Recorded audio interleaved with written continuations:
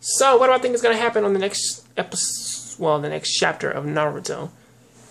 Mm, difficult to say, but honestly, as this is as this is kind of starting to kind of wrap up, I wouldn't I wouldn't be surprised if they honestly just pick it up with with with Sasuke and honestly show the brand new abilities in which that Sasuke has because because they kind of showed off a little bit of what Naruto can do in his brand new God mode.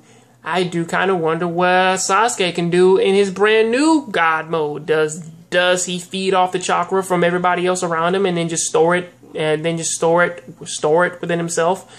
I really don't know, but I do want to see it. So or or possibly because he did gain the power of Ashura, he's probably just like a walking beast now. So there's always that.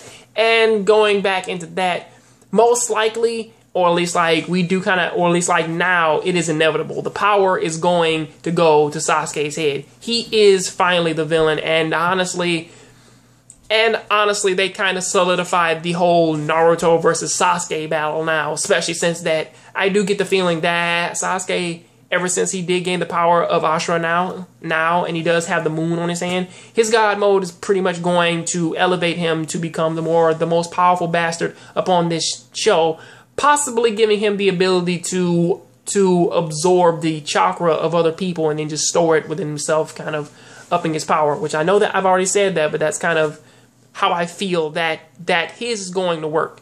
And honestly, the power has to go to his head because now the thing is going to possibly show that, and then go back to Naruto's battle of him finishing everything off with Madara and giving him a brand new transformation ability and also have him take take taking taking the rest of the tail beast from him and storing it within his own body, giving him the super, the super Indra power enough to kind of just go ahead and just power up to Sasuke's level, or at least just under Sasuke's level. So there's always that.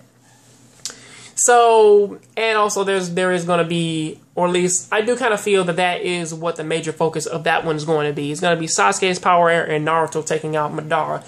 Give or take with how things have been going, that is kind of the only real thing that they kind of have left left to kind of talk about, unless they kind of throw us a 180 and then start talking about 1010 again, or go back and talk about what the third Hokage is doing and pretty much how uh, and asking the question: Is fucking is Yamato dead, or is he just still just passed out in the middle uh, in the middle of that rock field with that with that gigantic wooden statue? So there's always that. So, pretty much, what do you guys think is going to happen? Please tell me down there in the comment section. I'll catch you on the next Jon Graves show. So, please keep watching anime, keep playing video games. I am out.